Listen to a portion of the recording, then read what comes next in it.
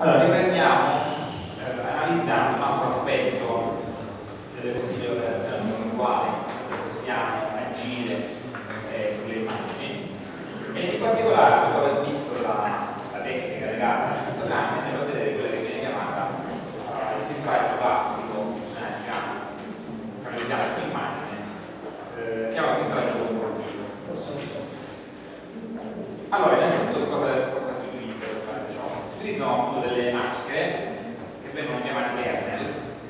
eh, che contengono dei valori. Questi valori servono per eh, riuscire a manipolare localmente eh, eh, dell'immagine e definiscono chiaramente il comportamento del flusso. Abbiamo degli, degli esempi.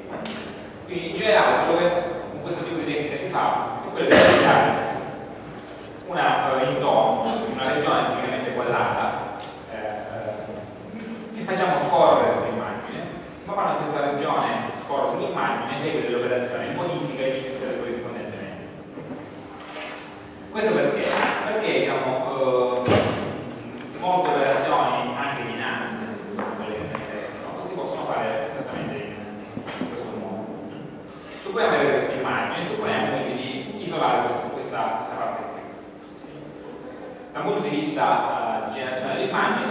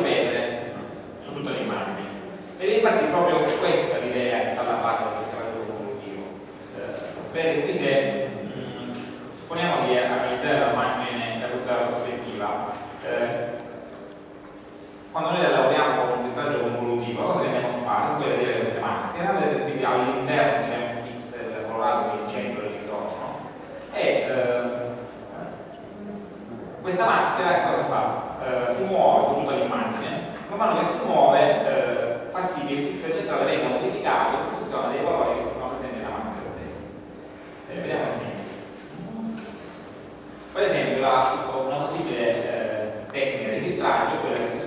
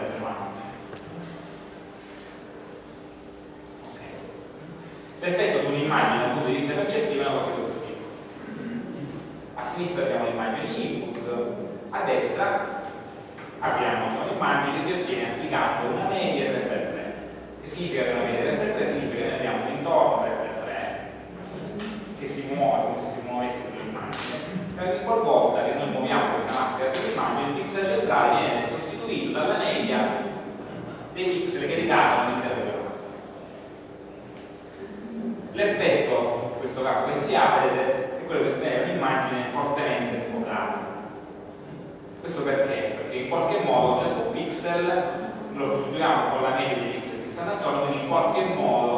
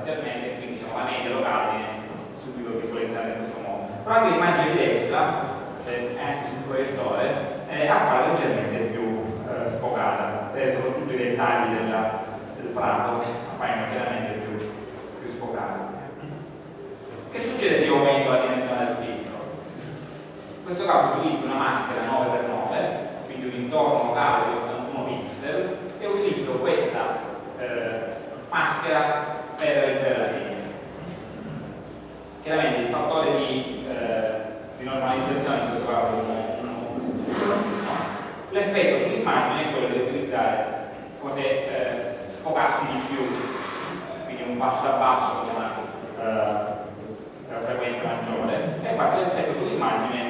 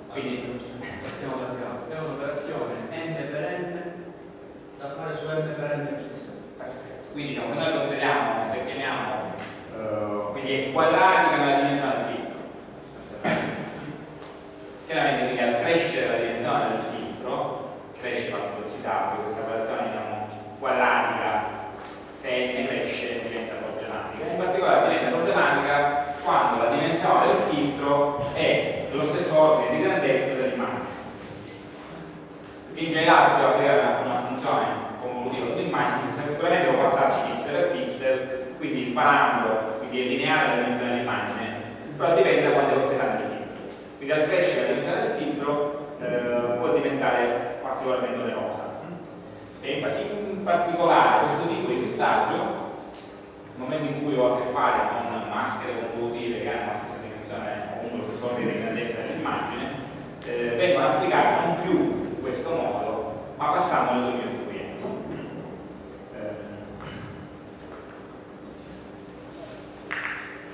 Finora abbiamo visto eh, maschere di questo tipo che in realtà, diciamo, un punto di vista anche coerenza, noi dovrebbe dire, ma se io ho un'immagine me la scopo, nel se io voglio fare il viceversa, cioè voglio prendere un'immagine che magari ha un basso livello di dettaglio e tirarne fuori eh, alta frequenza. E infatti comunque, eh, sempre con la stessa metodologia, è possibile applicare delle strategie eh, conclusive che però esattamente questo, cioè estraggono validare il dettaglio. Questa maschera, eh, in particolare, che cosa mi tira fuori? Mi tira fuori il edge con l'alta frequenza eh, vedete orizzontale. Perché ce l'ho fatto? Facciamo capire un attimino cosa fa questo tipo di maschera. In realtà abbiamo una maschera in tutte le colonne, eh, che è una, una maschera quadrata come prima. Però l'idea è quella di enfatizzare le differenze lungo la direzione orizzontale. Nel senso che molte di queste a volte il pixel centrale e gli sottraggo il pixel che sta immediatamente sopra e il pixel che sta immediatamente sotto, che cosa succede? Se io sono in una zona omogenea, cioè una zona con una certa frequenza, la risposta di questo filtro sarà sostanzialmente nulla. Se invece ho una, eh, presenza per esempio, di legge orizzontale, cioè una variazione di zona di grigio lungo la direzione orizzontale, questo tipo di, di pesi me la enfatizza ulteriormente. Quindi in qualche modo mi risponde bene il filtro alla Ecco perché l'immagine assume questo aspetto eh, così. Secondo voi eh, il fatto che l'immagine sia grigiastra, cosa è dovuto? Il fatto che ci sono valori negativi, quindi nel momento in cui vengono adattati nell'immagine cioè, saranno scuri. Piuttosto che- Mm, mm. Deve dirlo meglio. Allora, questo tipo di filtro chiaramente siccome è basato sulle differenze tra eh, pixel vicini, può dare anche valori negativi. Ehm, e allora, quando trovate visualizzazioni di questo tipo, c'è sottinteso il fatto che l'immagine, dopo essere stata filtrata, viene shiftata di 128. Significa che lo 0 viene portato a 128, in maniera tale che dal punto di vista percettivo si noti qual è l'output del filtro. Quindi non, eh, a partire da questa immagine chiaramente non ha senso che venga fuori un grigio.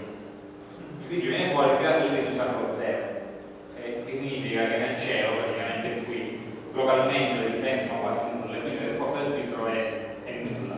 Spostando tutto, shiftando tutta la dinamica a 128, quindi sommando pratica all'output del filtro il valore medio, ottengo un'immagine che visivamente mi dà una, una qualche informazione. Però in realtà l'output e proprio sarebbe valore negativo positivi attraverso lo 0.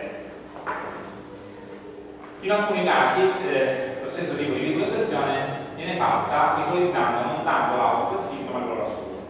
Così comunque lo 0 rimane 0 e i piccoli livelli di dettaglio diventano dei piccoli valori di intensità che mi danno comunque un'idea di quello che sta succedendo.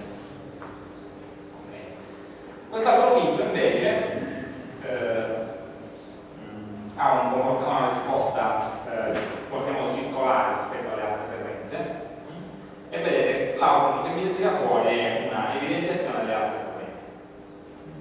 Quindi rispetto all'immagine di partenza, vedete come se io avessi isolato i bordi degli oggetti.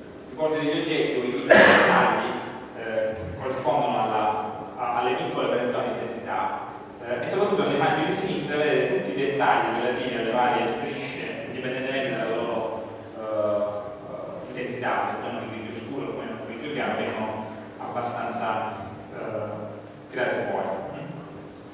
Quindi questa tipologia di, filtraggio è utile quando io voglio in qualche modo buttare via eh, alla bassa frequenza e isolare i dettagli che poi a sua volta possono essere ulteriormente eh, eh, diciamo, studiati, no? Quindi pensate a bordi, eh, targa, mh, dettagli particolari, loghi, eh, situazioni di, di questo tipo. Ok. Ehm, come questo non è il posto per produzione delle immagini, ovviamente non- non mi sto qui a eh, soffermare su come vengono generate eh, i pesi relativi alle varie maschere e quali sono. eh. Però sappiamo in generale che eh, ehm, quando voi utilizzate un software di elaborazione delle immagini e applicate un filtro, eh, questo viene realizzato esattamente in questo modo. Cioè a partire da eh, una maschera produttiva, singola che abbiamo visto noi, eh, in funzione dei parametri poi di passato, che tipicamente sono la grandezza del filtro, eh, il sistema genera una maschera conclusiva e applica una convoluzione sull'immagine. Eh, questi sono alcuni dei nomi che trovate, diciamo, eh, più tecnici che bisogna indicare quali sono i filtri corrispondenti. Quindi poi il software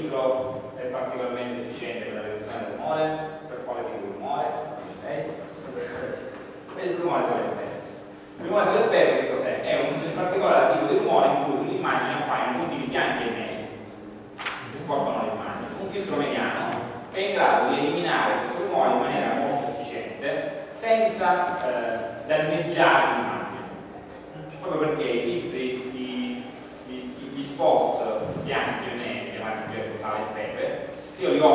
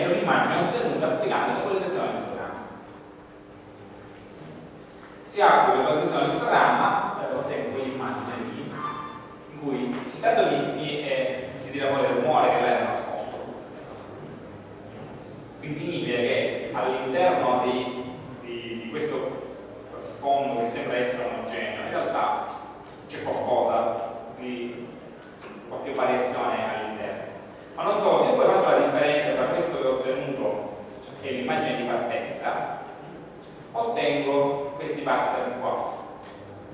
Quindi in pratica ciò significa che all'interno dell'immagine questi quadratoni scuri non sono per nulla omogenei, è il mio occhio che li vedo omogenei. Quindi se io applico una strategia con una root globale, l'istogramma da un punto di vista complessivo sì lo posso migliorare, ma il dettaglio che è nascosto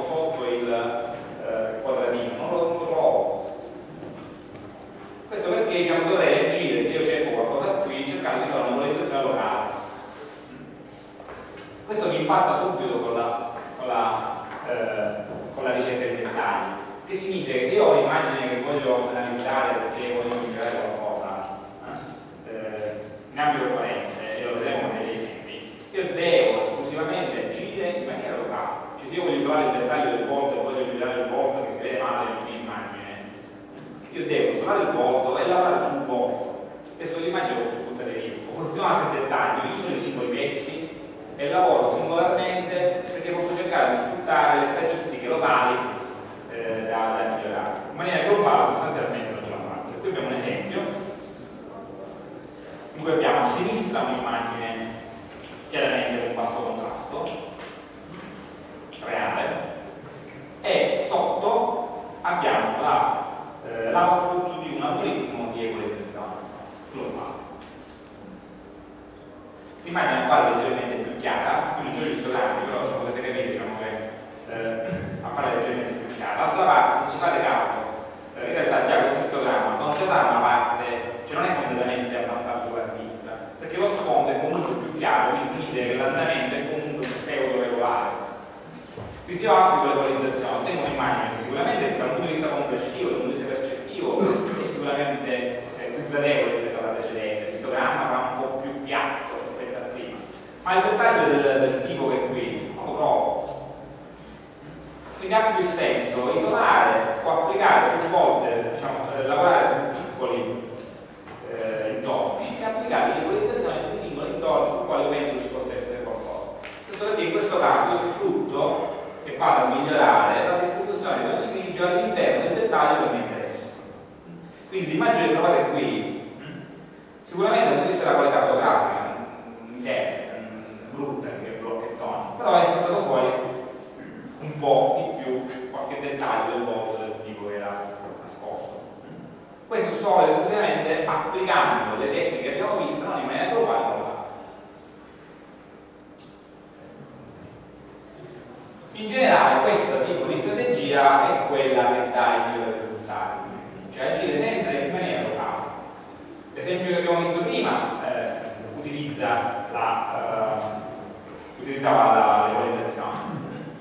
Per il filtraggio per così dire convolutivo ha senso quando abbiamo immagini particolarmente degradate eh, non applicare un, un, un filtraggio eh, unico su tutta l'immagine abbiamo questa immagine con del rumore sopra, applicazione di un filtro passa basso, questo è l'auto, il rumore se n'è andato, ma se non arriva tutti i dettagli.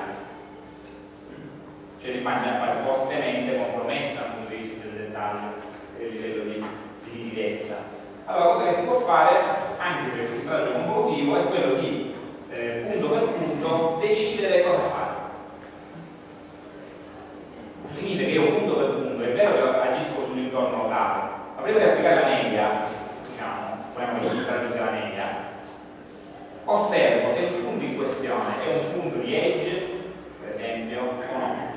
Cioè è un punto dove c'è una transizione tra una zona e l'altra, che se è un punto in cui c'è una, una transizione del genere, è meglio che lo riservi, perché sono quei punti che, che stanno, a cui il mio sistema eh, percettivo è più sensibile. Sono i punti in cui c'è un livello di dettaglio, sono i punti in cui ci potrebbe essere eh,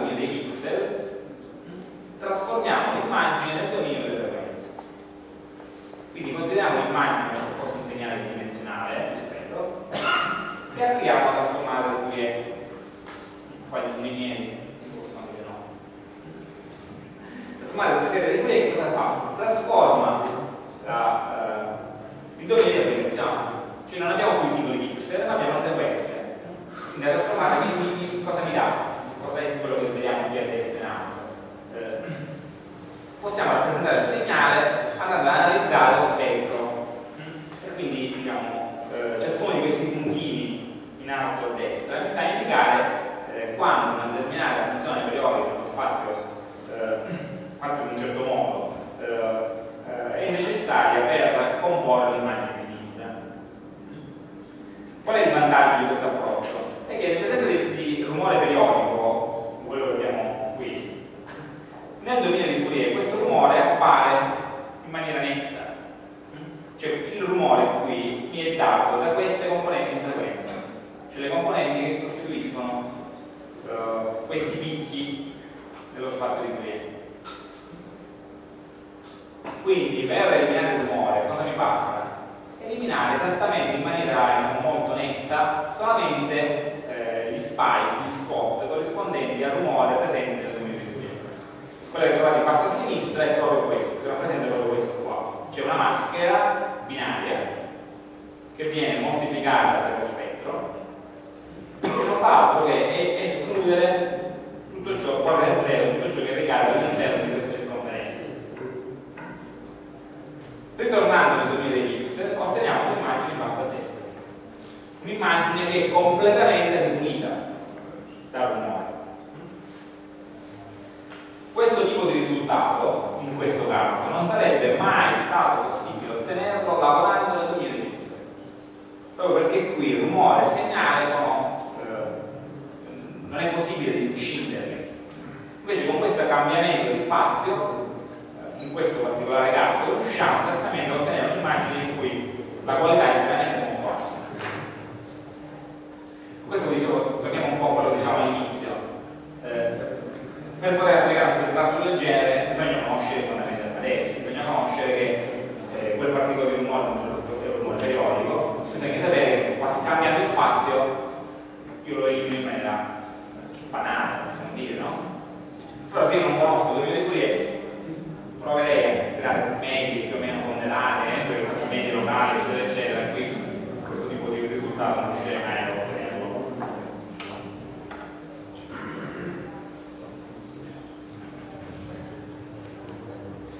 Andiamo avanti, questa carrellata sulla, fondamenti della materia. Va bene, uh, abbiamo detto che sono le immagini digitali, abbiamo parlato di, brevemente di possibili tecniche di, eh, di lavorazione. Eh, adesso cercheremo di capire un attimino qual è il problema legato agli, al formato dei dati. Eh, allora, innanzitutto parliamo delle immagini. Eh, noi abbiamo detto che ciascuna immagine digitale viene rappresentata a toni di grigio a colori, a toni di grigio utilizziamo 8 bit, a colori utilizziamo tipicamente 24. Come vengono impacchettati questi dati? In linea di massima, eh, tenendo conto di quello che abbiamo detto fino adesso, eh, avremo bisogno di 24 bit per pixel. 24 bit per pixel sono tanti. Eh, per cui ha senso innanzitutto distinguere tra i formati che sono formati compressi e i formati non compressi. I formati non compressi cosa stanno a fare? Semplicemente mi registrano su un file i dati eh, così come ce li ho. Quindi 24 megapixel. E capite bene, ho un'immagine di 20 megapixel, significa che avrò 60 mega di informazione. Sono un po' troppi. Sono un po' troppi perché? Perché eh, eh, le immagini eh, di per sé hanno una forte redondanza. Cioè pixel vicini in un'immagine, in un intorno, sono tipicamente molto simili per loro. Quindi diciamo, la, il, il tipo di eh, segnale può essere rappresentato da una forma più compatta. Eh, allora ecco che esistono gli standard compressi. Per esempio il PNG è un esempio, il JPEG, eh, il GIF, sono un esempio di questo. Però per gli standard compressi bisogna distinguere, distinguiamo in due tipologie. Abbiamo gli standard che comprimono il segnale ma non lo modificano. Pensate allo chip. l'algoritmo zip per la compressione dei dati è un algoritmo che comprime il segnale, non lo modifica. Significa che quando voi ri, eh, estraete il dato da un file compresso, il dato sarà esattamente uguale eh, tipicamente sono algoritmi che sfruttano un po' la, la redondanza del segnale stesso. Sulle immagini però lo possiamo fare molto di più. Con tecniche di compressione eh, senza perdita, chiamate lossless, senza perdita, e noi riusciamo a raggiungere, eh, riusciamo tipicamente a dimezzare la dimensione dell'immagine, separare un terzo, ma non di più. Il vantaggio che abbiamo con le immagini è che noi possiamo sfruttare il fatto che possiamo ingannare il nostro, occhio. Nel senso che poi in alcune applicazioni può essere sufficiente comprimere un'immagine in maniera tale che quando io la decomprimo eh, le differenze ci siano ma siano impercettibili. In questo caso si parla di compressione visually lossless, cioè che è senza perdita dal punto di vista percettivo. Ed è questa la caratteristica che sfruttano ad esempio le digitali. Le vostre fotografie digitali, quando voi acquistate un'immagine, salvano in JPEG. Il JPEG, però diciamo un JPEG di alta qualità. Nel senso che se anche voi aveste vicino l'immagine non compressa, da un punto di vista percettivo non notereste assolutamente differenza. E in questo caso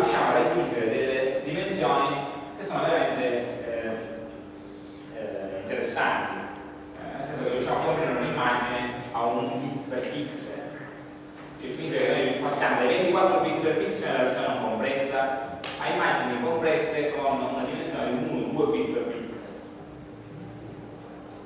Cosa fa che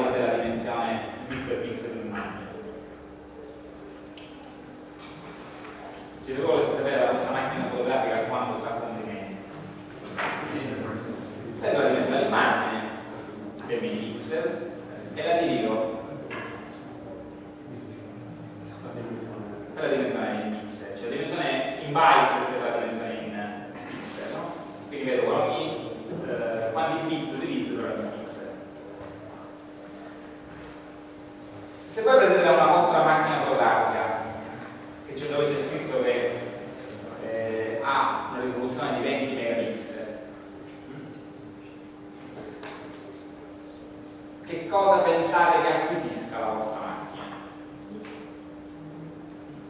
Beh, eh, vi salvo il JPEG significa la tiene compressa questa immagine.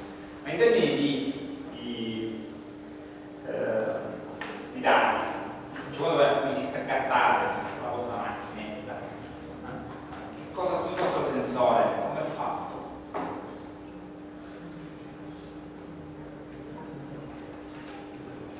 se noi diciamo rispetto alle cose che abbiamo detto, se c'è scritto che è 20 megapixel, voi aspettate di avere una risoluzione all'ingresso che sia 20 megapixel, quindi 20 milioni di pixel, non mi ricordo poco per il classico, per 3 euro, no? per 3 livelli RGB.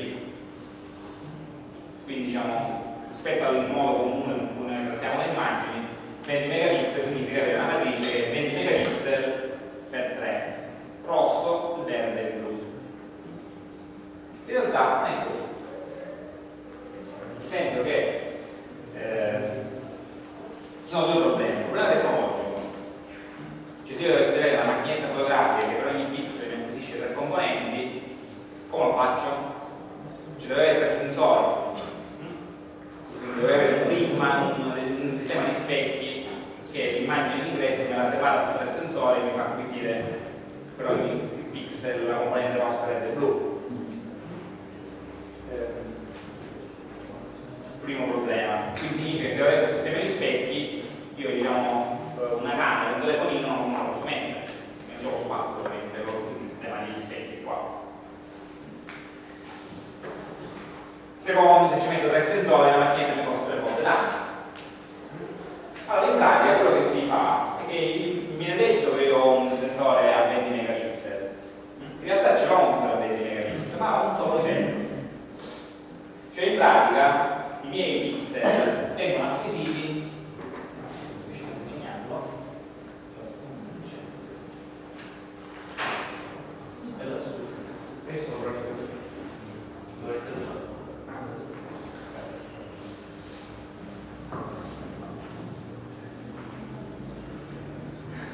Quindi da qua, vediamo che c'è una macchina fotografica. Supponiamo che utilizziamo il sensore.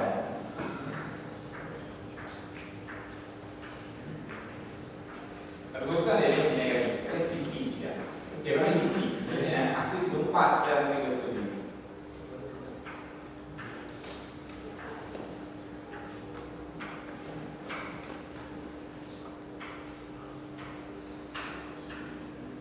R per rosso, G per verde, G per blu. Quindi in pratica ho un unico piano che contiene 20 megapixel. Okay? Sopra ogni, ciascun eh, fotorecettore ci sarà un filtro colorato che fa acquisire per ciascuna posizione i colori secondo questo schema. In questo modo, se vedete, io praticamente ho il verde presente su tutte le, le righe in maniera alternata, okay? mentre il rosso e il blu mi appaiono a a righe alternate tra quello.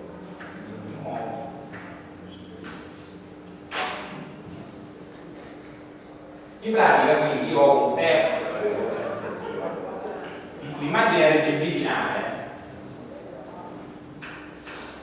quindi R, G e B, verranno ottenute a partire da questi dati, nel senso che, per esempio, nel G disegniamo proprio in piccolo, no? Io ho questi sono quelli originali.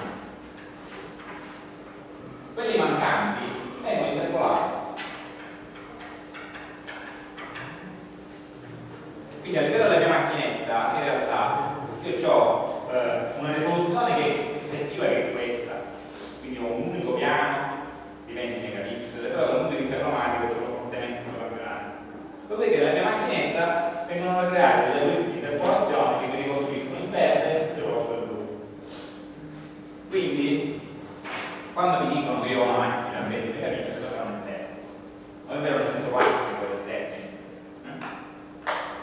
L'unica eccezione la fanno alcune videocamere di fascia alta, dove invece c'è il sistema degli specchi che mi split il segnale, che però mettono bene in evidenza già nella, nella, nella, nella, nella videocamera stessa, dove c'è il segnale 3CCD.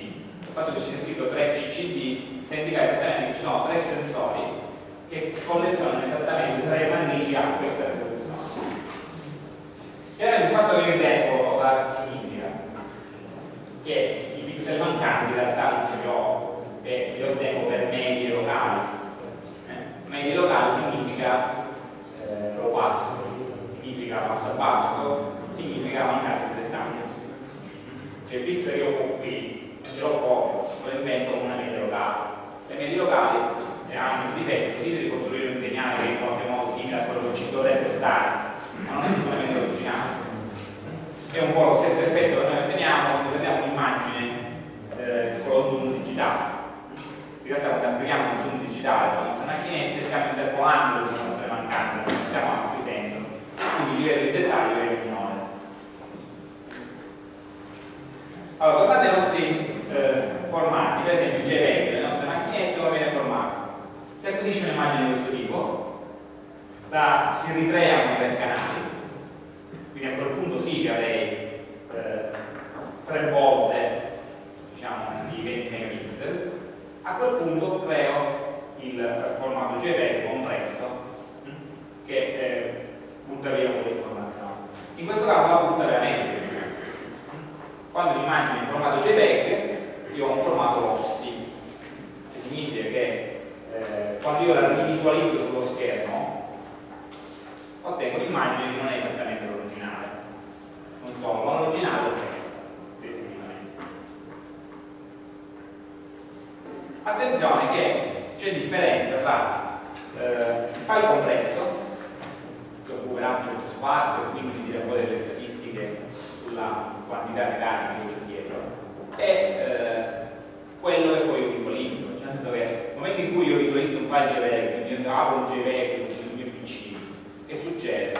Io riprendo lo stream, i dati, li applico diciamo, l'algoritmo di compressione in senso inverso, visualizzo il risultato, allora a quel punto ho un'immagine a piena risoluzione. Significa che quando io visualizzo l'immagine decodificata dal JPEG, a quel punto ho rigenerato 24 bit per pixel, okay?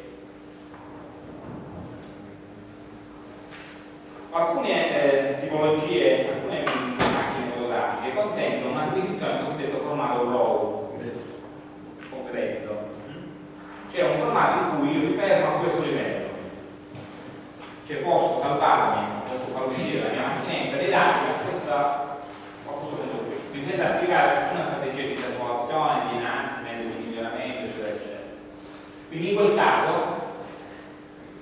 l'operazione di ricostruzione dell'immagine finale viene fatta, può essere fatta offline, cioè PC con software L'unica cosa che devo, che devo stare attenti è che questo dato in formato RAW è tipicamente un non compresso. Quindi in termini di spazio eh, mi occupa esattamente eh, la dimensione della, del sensore eh, moltiplicato per eh, i livelli di qui. Diciamo che alcune eh, soprattutto le macchine digitali di fascia medio-alta, quando io esporto in formato RAW eh, mi permettono, mi danno un formato per ciascun bit che è superiore, per ciascun bit che è superiore agli 8 bit, agli 8 bit. Cioè a volte mi consentono di avere 10 o addirittura 12 bit per pixel.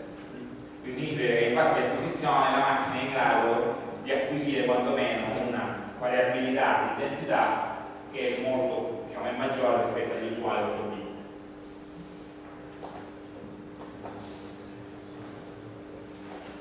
Fra questi formati un cenno merita il GIF. GIF è un formato complesso ehm, ed è interessante perché in questo caso l'immagine viene trattata in maniera differente. Cioè l'immagine in formato GIF che cosa contiene? Quello che è fatta. Innanzitutto abbiamo che il numero massimo di colori che può rappresentare non è eh, 16 milioni di indicato che si ottiene in di 24 bit per eh, colore, dei colori possibili, ma al massimo è 250 mega. E poi l'immagine GIF è particolare perché eh, è fatta da una tabella di colori che viene chiamata palette che contiene delle terme RGB e X corrispondenti dipendendo dall'immagine quindi che può essere al più. 250 frame poi nella mia immagine io anziché avere i colori avrò gli indici della tabella quindi se questo pixel contiene ecco, questo colore qua 200, 100, 220 qua è un 1, 2, 3, 4 quindi è stato numerizzare il numero 4 quindi la mia immagine viene trasformata in una mappa di indici di cui qualche relativamente alla tabella che contiene i colori quindi proprio una, una strategia di memorizzazione dei, della, dei, dei colori completamente diversa Attenzione che il fatto che ci siano solamente 256 colori non significa che chiaramente è un limite dell'algoritmo. Però eh, quando io diciamo, salvo l'immagine da 24 bit a un formato GIF che ci chiede 256 colori, il vantaggio di poter scegliere i 256 colori che meglio approssimano l'immagine di partenza. Quindi è vero che ci sono pochi colori, però è anche vero che in fase di eh, generazione del formato GIF posso scegliere quei colori che meglio mi rendono uh, l'immagine rispetto a quella di partenza. I dati vengono compressi su file con un algoritmo stile Huffman, diciamo. Ovviamente in questo caso eh, localmente ci saranno tipicamente colori che sono vicini anche nella tabella e quindi questa immagine è fortemente eh, comprensibile.